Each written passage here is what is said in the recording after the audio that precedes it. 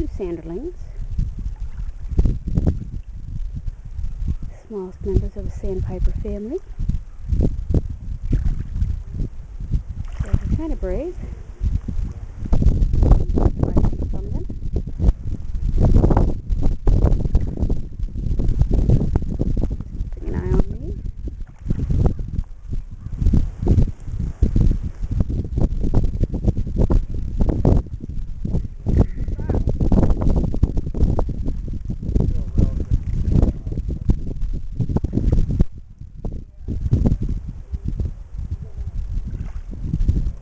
They were busy eating until I showed up.